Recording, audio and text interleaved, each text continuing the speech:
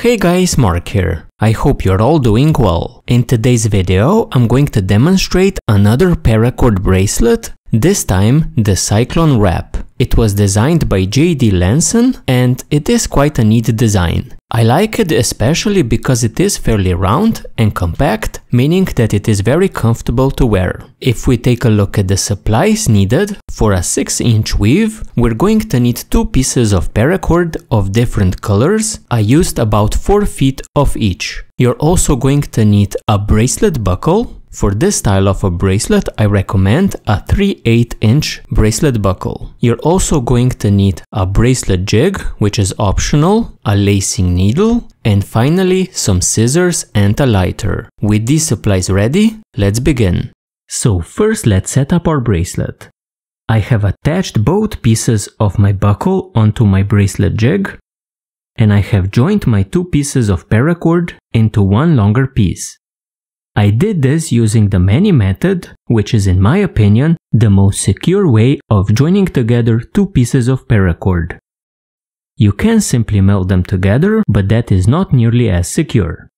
We're now going to attach this longer piece of paracord onto this buckle end using a lark's head knot. Take the two ends and feed them through the bottom of this buckle end.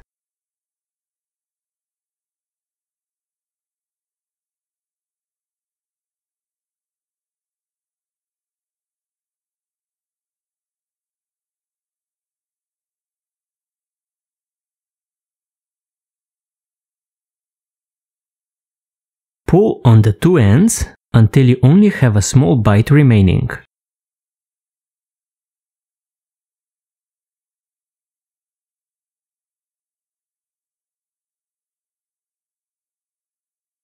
So like this. Now feed the two ends through.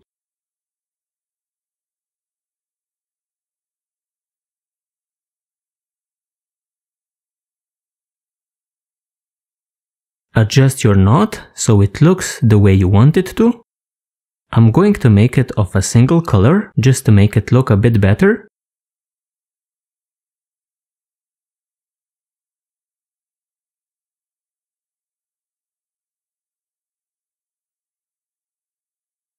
Like this, and we can now move to the other buckle end.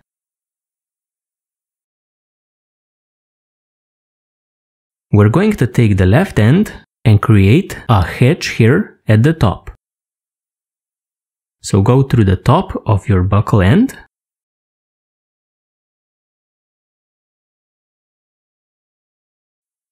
Make sure that this cord is tight, then go over the top and through the loop we created.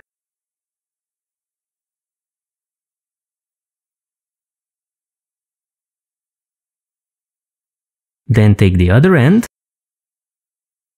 Again go through the top of the buckle.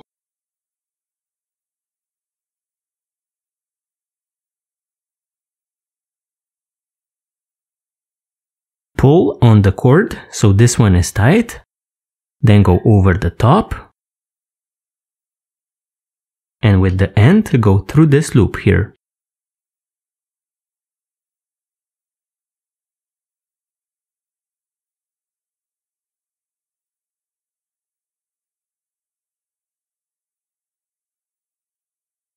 With this we have set up our bracelet. Now that we have set up our bracelet, we can begin weaving. Pick up the right end and go over the top over the two middle cords. Then turn back and go under the two middle cords. Pick up the end and go through the two middle cords just above where you went under.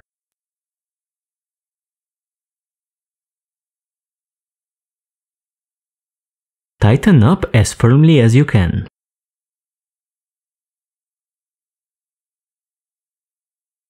Pick up the left end and go over the two middle cords, then back under, under the two middle cords,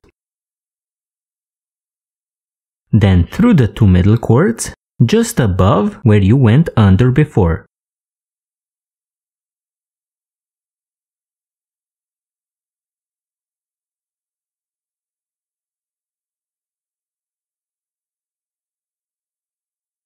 Pick up the right end again, and again go over the top, over the two middle cords,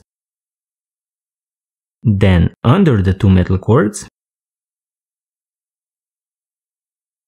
then with the end of this cord, go through the middle, just above where you went under before.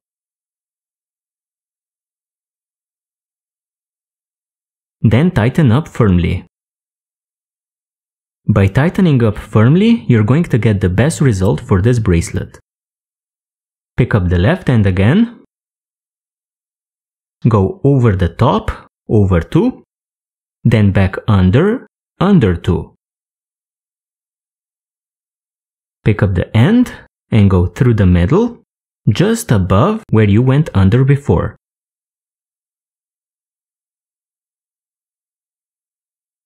Then tighten firmly.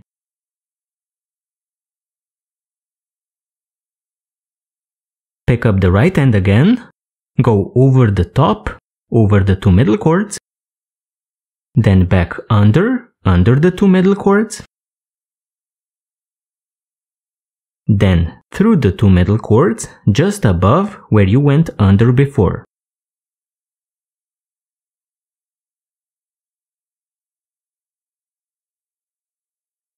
As you can see, this is very simple once you get used to it.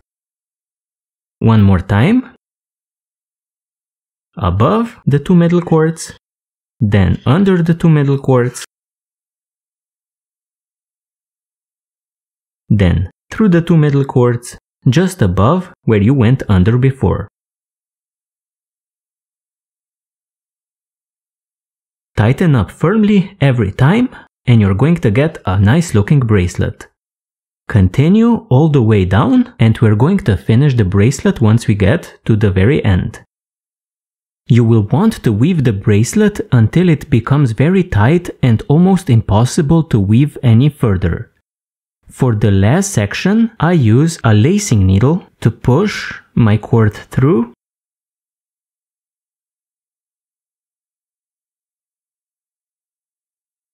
And with this, the last section is complete.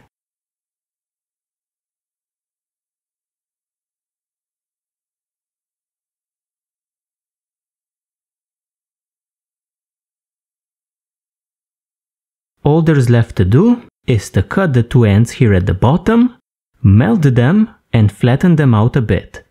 This is going to keep your bracelet from unraveling and it does a pretty good job. Guys, thank you for joining me in this tutorial. I hope it was useful. Thank you and see you next time.